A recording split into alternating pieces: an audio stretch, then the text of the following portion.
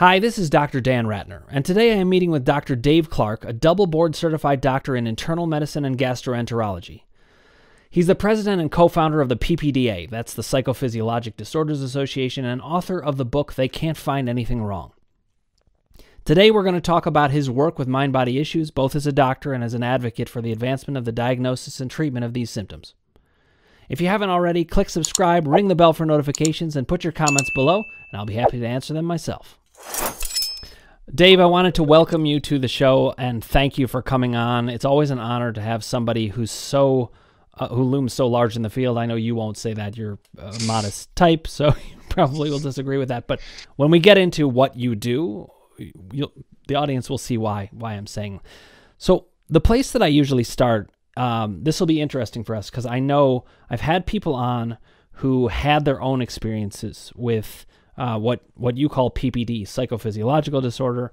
Some people go by TMS, the Sarno term, tension myositis syndrome. Others go by MBS, mind body syndrome.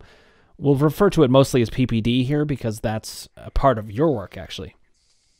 But when I have people on, some people have had their own personal experience with it. In talking with you before, I found out that you actually have it, and right. that and that that actually in some ways was a challenge to the work. So let's start let's start with how you got into the field because many people get into the field because they have the pain and then they get interested in it. For you it was a different story. How did how did you come to this work? Well, I was trained uh, as a traditional internal medicine and then gastroenterology specialist uh, physician, and I was got all the way to year eight out of nine years of formal training with no knowledge of this field whatsoever, uh, which is you know kind of embarrassing to admit as a physician since it afflicts 35 or 40 percent of the people that, that come to see us as doctors, and and to go through that many years of training without ever having heard of this is is just crazy. But I finally encountered a patient that uh, none of us could figure out. She had come to us from another university. I was at UCLA in my training, and she'd come to us from another university where they couldn't figure out what was wrong with her. And we did some specialized testing. It was perfectly normal, as was everything else that had been uh, looked into for her. And I was doing her exit interview, and I stumbled on the fact that she'd been severely abused as a girl. Uh, nobody had touched her against her will for uh, something like 25 years, but there was this, you know, glaring piece of history in her background that um, made me wonder if there could possibly be a connection. So I got a psychiatrist involved whom I knew slightly at the time. Her name was Harriet Kaplan, and she was unusually also board certified in internal medicine. So she had an interest in, in mind body disorders. I didn't think anything was going to come of it. I didn't think you, a psychiatrist could possibly uh, do anything with the severe level of illness that this woman was suffering from. But nothing else to do. So off she went. And um, I forgot about her until I ran into Harriet uh, in an elevator one day and asked her, you know, whatever became of, uh, of Christine, the patient that I sent to you, and was shocked to find out that Christine was completely cured with um, less than three months of weekly uh, counseling sessions with Harriet. And that just shocked me to my core that you could just by talking to somebody alleviate their symptoms. And i thought you know i've encountered one patient like this. There may be a few more in, in my future when i get into practice. I should learn a few things learn you know the basics about uh, what is involved here so that i can do a good job for patients like this uh, down the road. And I learned from Harriet. We prevailed on her to, to sit in with us in the outpatient uh, gastrointestinal clinic. I learned some more that way.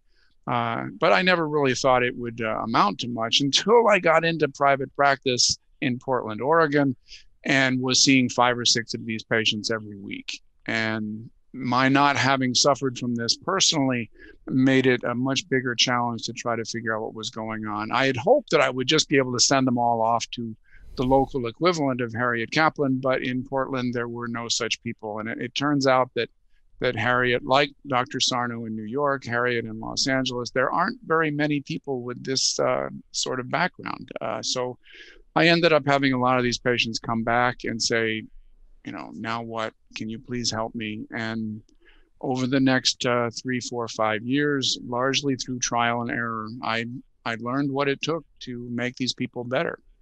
That's, but even when I was a fumbling beginner, I was getting better results um, than you know anybody else out there with traditional medical approaches. So I was encouraged to keep going. It's it's a great it's a great point on many levels, and I just want to highlight that. You know, I really think it's true that people who are kind of at the beginning of it, they think that they can't help, but a lot of times they really can help because they're actually giving something so different than what other people are receiving. I also wanted to give you some some real proper credit. Bec- and you can sh- you know shoo this away if you like. But I think that it to me it's part of the role of a of a psychologist, of a doctor, of whatever profession we're in to if we're not helping the people to to wonder why and to to reach out to other people and to check out other options you were the kind of doctor who cared enough about your patients that you were like well we're going to try some other things or I, and and if i catch wind of something that might have worked i got to know that. So to me we need many many more doctors with that kind of attitude. I, I hope i think there are a lot out there and i hope that there's increasingly more. But What's your sense in what you see? Do you feel like there is an openness in medicine to this sort of thing? Is that is that growing? Is that changing? I know you and I share in common. We want to spread this message. We want people to understand it. Yeah, it it is. I mean, I think we're reaching a, a tipping point. I think people um, were treating a lot of this, particularly the people with pain uh, with opioids, uh, and it was pushed very hard back in the 90s. And we have certainly found out since then that that's not a good idea, and people are desperately looking for a viable alternative. And the psychophysiologic uh, approach is absolutely a viable alternative to people with chronic pain. Uh, we can achieve vastly better results with far fewer side effects uh, using psychological approaches uh, than we ever could uh, using opioids to just treat the symptoms. So, yeah, doctors are looking for this. They don't necessarily want to do the psychological work themselves, but there's a parallel movement that supports this uh, direction that we're going, which is called integrated care, where you have a, a, medical clinician and a mental health professional, or what's called a behavioral health consultant, working side by side in the same medical office. And when the physician uh, uncovers um, a psychophysiologic issue in a patient, they can call the um, mental health specialist in, you know, right as part of the same visit. There's no stigma about, you know, having to go see a quote unquote shrink about this, which many for many people is a barrier. It becomes part of their their medical care, and the outcomes from that are tremendous. I mean, I I had uh, you know a number of places around the country where um, we've done training. The, the PPD Association has done training for clinicians. And I just, you know, in the last several months had a physician take me aside and say, you know, since we've been doing this work this way, it has put the joy back into my practice. So wow. it's it's good on multiple levels. Yeah, I, I, that's a great point too because I think it's better for it is better for the doctors, just like you're saying. It it it's humanizing everybody. It's bringing us all together. It's allowing us to learn from each other. But I think it's so great that you have been a part of this and that you had that attitude about it. I wondered if you know when you were when you were treating people uh, at the beginning and and ongoingly, what role it has played that you didn't have your own experience with PPD, and it's amazing that you avoided it because I know so many people who had it, and I had eight years of, of chronic back pain, and that's how I discovered it. But I know I think Howard Schubiner didn't have a, a major PPD experience himself. Um, I, I think I'm remembering that correctly. You tells a story about having um, bowel problems when he was an intern, so that that may have been his oh, okay. uh, his major experience. Uh, okay, he, I see. He, uses the phrase uh, being scared shitless literally. That's and I love that. You know, the language that we use really does apply. I, I'm writing a book on this, as many people have done or are doing, and I talk about the fact that this language is often quite quite literal. And in fact, I wanted to ask you about that. This is a great lead in for a gastroenterologist. I wondered what it's like working with these particular issues. Do you find that gastroenterological issues are harder to treat than other PPD issues? Are they similar? How how are they how do they stack up against, you know, pain issues? Yeah, I, I think um, it is even more important to get to the deep psychological work uh, to uncover the the source of the repressed emotions, the trauma, the stress.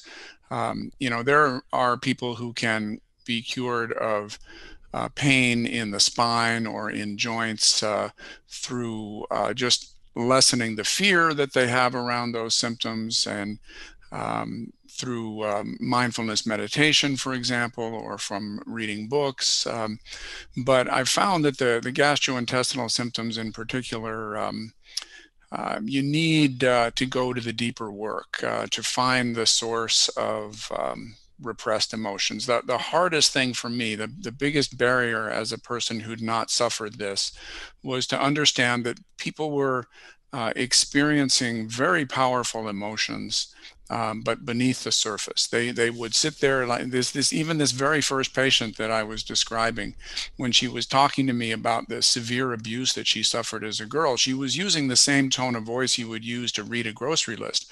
You know, all the emotions were going yeah. into her gut. Um, mm-hmm. and they were not anywhere to manifested uh, in in the way she presented herself. And this was this was normal and typical for uh, for my patients to be describing um, terrible experiences that they'd suffered, um, but all the emotions were invisible, and wow. that confused me for a, a couple of years. That you know why were these people ill? They're describing these terrible things. Um, they're not emotional about it. They, they seem like they've probably processed this trauma, that they've left it in the past. It's no longer a factor. And yet they have these terrible symptoms. So, you know, what is the connection? And the connection was that they've got, they're like dormant volcanoes with boiling magma of emotion that is manifesting physically, but on the surface, you're not seeing it. And it took me hundreds of interviews before that finally dawned on me. Wow, that that's that is fascinating, and I, I think it's highlighting something important that different symptoms can function in different ways from a PPD standpoint. That and and I think you're right. Some some we have to look more deeply at so part of the work that I do, we haven't gotten to talk about this in the emails we've exchanged, partly because I've developed it more in, in the last year or so, is that I I work with people not only on the emotions, but then also on the cognitive side, the doubts they have about it. Because if they're not certain about it, and I read, you know, of course, I read about that in Sarno and Schubiner and Schechter, all of these different books that being certain is key. But what I have done is is worked to develop systems with those specific minds about how we can get them more certain with science and logic, and then also help them be more powerful. And I think I do think that when it comes to gastroenterological things, a lot of times there is a feeling of not being powerful, not feeling like they can manage things. And in fact, it's a as we know, it's a very uncomfortable symptom to feel like you're you're dealing with because it could come at any time. I actually had a question.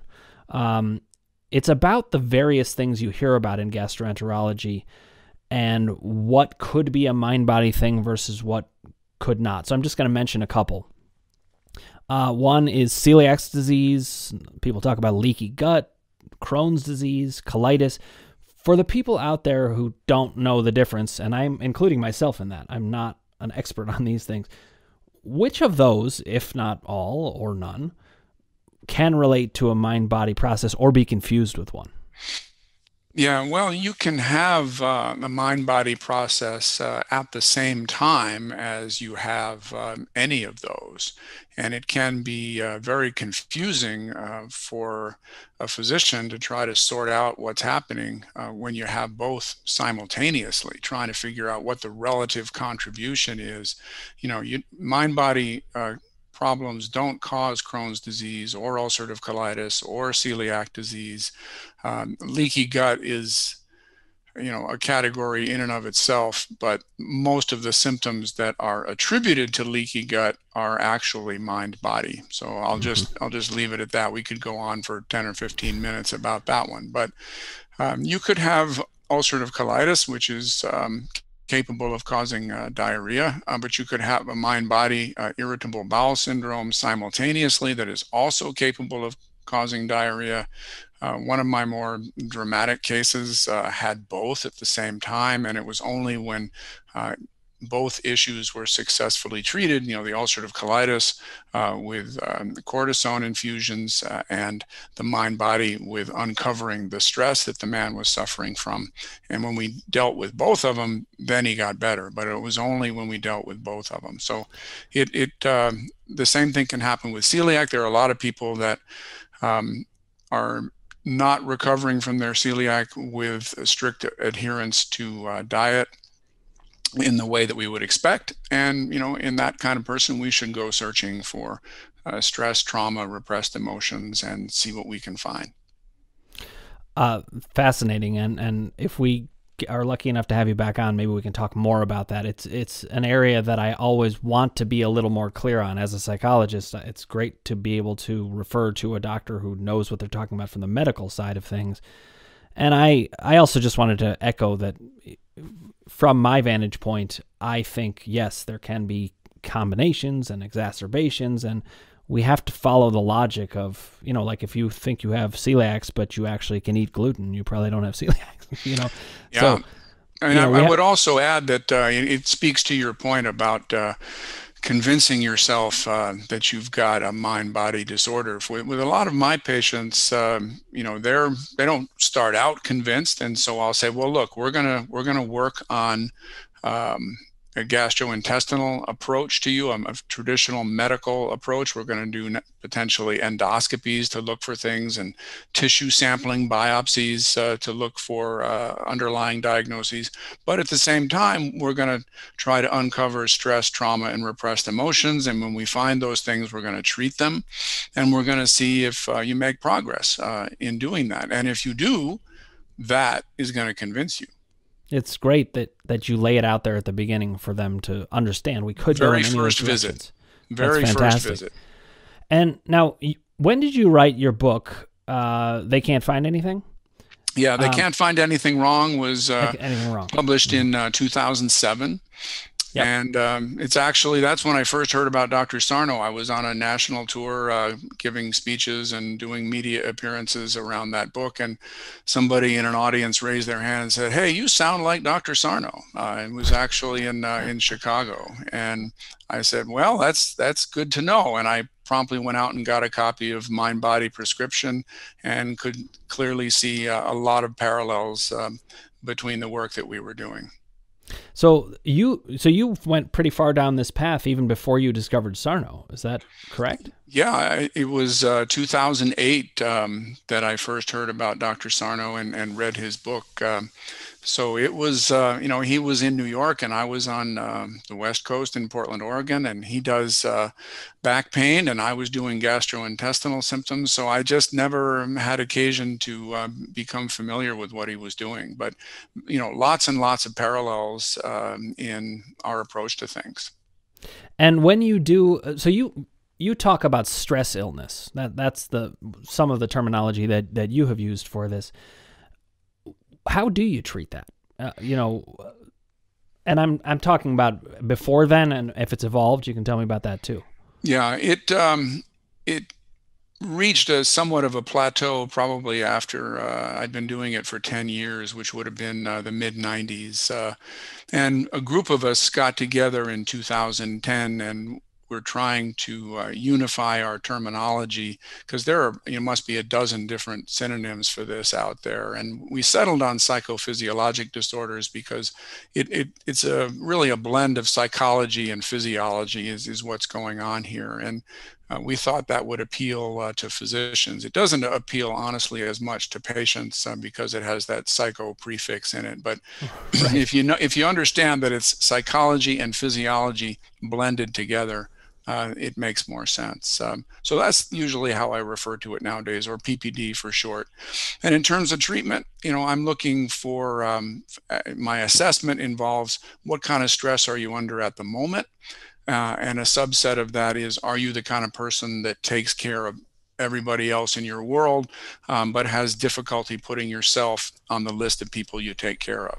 And that turns out to be very common. A lot of my patients, they, they're on a treadmill, they never get off. They're constantly uh, right. solving problems everywhere but themselves. Um, and then the biggest shock to me was uh, ACEs, adverse childhood experiences um, major paper uh, by Vince Felitti in the American Journal of Preventive Medicine in 1998 describing the long-term impact of these on people's health, one of which was to triple the rate of people having these you know multiple symptom uh, disorders. And the long-term impact of those ACEs involves all kinds of things, um, as you know. Um, self-esteem is beaten down. Uh, your your sense that it's your job to fix problems in your family, to fix problems in your relationship, and to worry less about yourself. Um, perfectionism, uh, being hypercritical, uh, you know, all of these personality characteristics that uh, Sarno observed in his patients, they're a direct outgrowth of uh, what the child was doing to try to cope with adversity when they were growing up. And it's not always out and out obvious abuse. Uh, you know, my, uh, my that very first patient I mentioned, her dad had sexual intercourse with her an average of once a week for f- age uh, from age four to age 12 you know just a, you know a horrible uh, experience that she went mm. through but other people it's it's more subtle uh, right. you know it can be as as um, something like uh, never being able to get approval uh, from your parents or, or always right. being egged on to achieve more you jump over one bar and the bar is moved higher and you got to keep trying to, to get uh, even further along and right. that can you know beat a kid's uh, self-esteem down so there's a wide range of uh, types of adversity that can result in um, these physical symptoms later in life and then the last three areas i look at um, has the person got a depression and anxiety disorder or a post-traumatic stress um, that is so prominent physically that the diagnosis has been missed by their doctors and is is it just the awareness? I mean, we all look at these things differently, and we know awareness can go a very long way in this. But is it is it just the awareness of the connection that tends to bring the relief, or are um, there more things that you? Yeah. Yeah, it can. I mean, the very first story in my book is a patient who was hospitalized at a major West Coast university uh, 60 times over 15 years with no diagnosis. Uh, and she saw a dozen different specialists, including a psychiatrist, and they all missed it. And as soon as we uh, were able to uncover the connection between a particular stress in her life and her attacks of symptoms, um, that was it. Once she saw the connection, she never had another episode. She was having severe uh, dizziness uh, attacks with uh, nausea and vomiting. Um, but other people, you know, they need to um, first um, recognize the repressed emotions that they have. Um, Howard and uh, Mark Lumley, Howard Schubiner and Mark Lumley uh, developed a form of treatment called emotional awareness and expression therapy. And the, the approach that um, I came to via trial and error uh, is pretty much exactly the same uh, as that. Uh, it involves first helping people become aware that yes, they do have these emotions uh, going on in there. They're just being expressed physically. Uh, and then once they become aware of the emotions, to put them into words, either uh, speaking them to a therapist like yourself or writing them down on a piece of paper or on a computer screen. Um, one technique is to write a letter to the perpetrator of your uh, childhood adversity, not to mail it, just to write it, to put all those uh, thoughts and feelings down on a piece of paper. And right. if you write it by hand, it's, you know, that that physical uh, motion has a magic ability to uh, pull thoughts and ideas out of people's heads that they didn't necessarily know were there. And the, the more of those ideas that go onto the page, the less they have to be expressed via the body. It's really interesting too the difference between them writing it and typing it because it's like the body is doing that a little bit more. I, more I encourage it. people to hand write it, um, but you know, typing works too. So I want to talk now a little bit about some of the work that you've done. Well, first of all, let me say it's fascinating to me that you came to this without Sarno because so many of us came to it with Sarno or maybe with someone like you. But you were a doctor who just paid attention to it and, and saw how things added up, and you came to a very similar conclusion. And that, that to me is encouraging that another doctor doing very similar work could come to similar conclusions because they're true. We, we see it everywhere. So now I know you've done a lot of work working to bring these ideas to as many people as you can. So I just wanted to highlight a couple of things that you do, not because you don't know them, because of course you do, but so that the viewers will know. So we had on Georgie Oldfield at one point. She uh, she runs SIRPA, the Stress Illness Recovery Practitioners Association, and you are the international advisor to that group. And I I think it's it's great because she is working, and I'm sure you with her, to get other people trained in these ideas, and that's a big part of what we need to do. If we're going to change the dialogue, we need the people who are helping to understand this. But you know, you also were one of the the co-founders and you're the president of the PPDA, the Psychophysiologic Disorder Association, and the idea was to unify some of the way that we're talking about things. But I also know it's it's about advancing the diagnosis and treatment of these illnesses. And I just want to highlight some of what's there. Um, there's research that you guys are doing. I know Howard Schubiner and Alan Gordon are, are doing some of that. You're working on, or maybe this is already going, the model clinic in Las Vegas. Is that already going?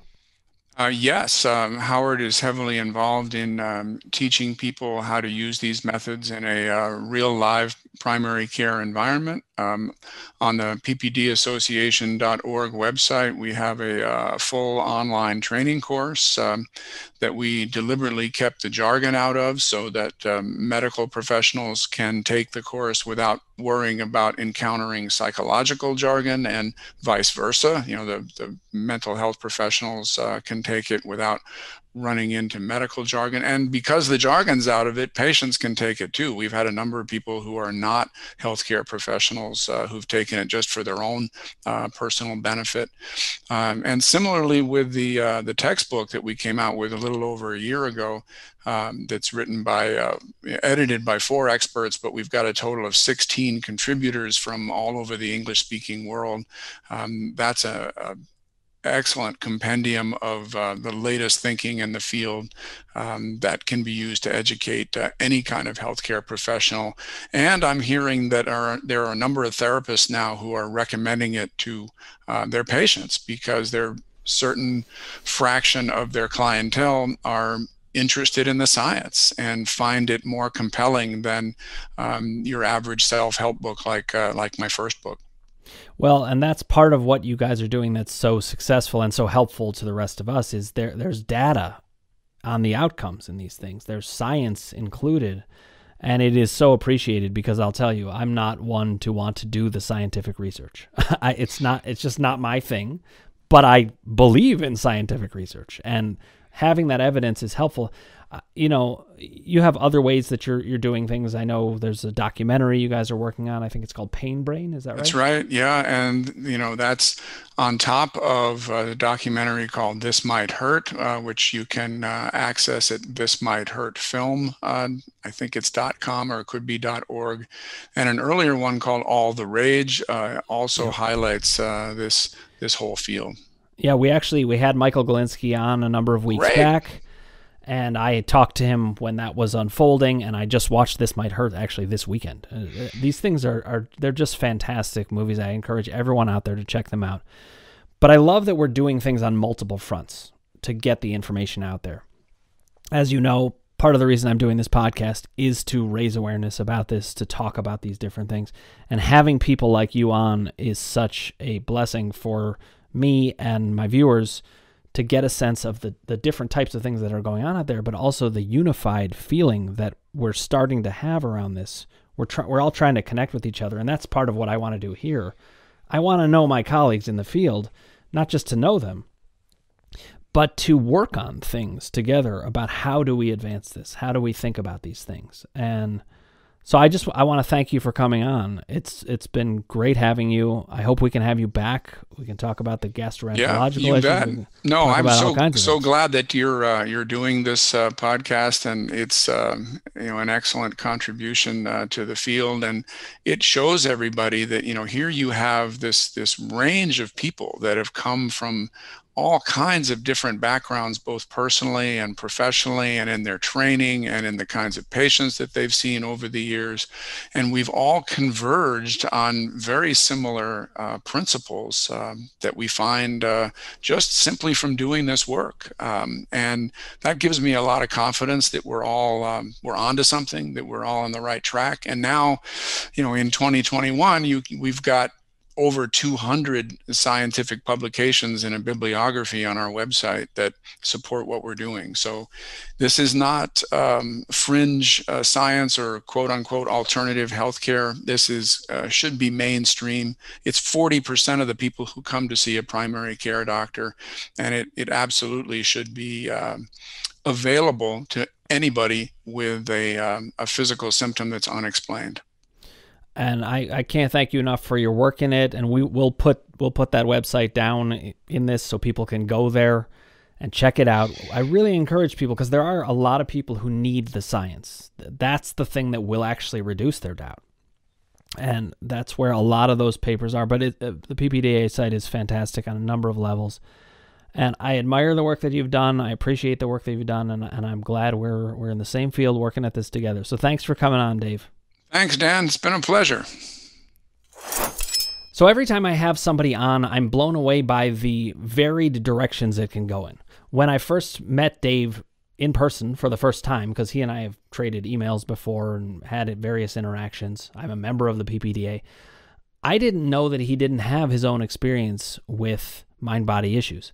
And I'm always fascinated to learn about what people's experiences were like. When we had Elisa Batson on, I was surprised to learn that she had suffered from mind body symptoms longer than I had. That's not something that I usually found in people working in the in the field. And I thought uh, Dave talked about it beautifully, what it's like to have discovered this on his own. Here's the other thing that totally shocked me my assumption often has been that everybody starts with Sarno and then they branch out. But he developed very similar systems all on his own without even knowing about Sarno until 2008.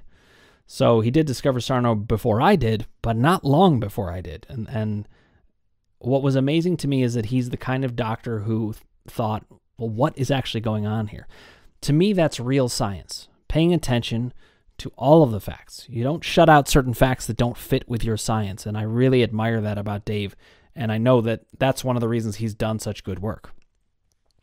It's also really important in our community to have people who do different things. So, as a gastroenterologist, he's the number one guy I would go to if I'm trying to tease out well, is this a mind body issue? Is this a physical issue?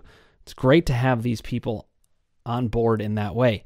But then the other thing that I think is so impressive about Dave is all of the things that he's doing to make things better.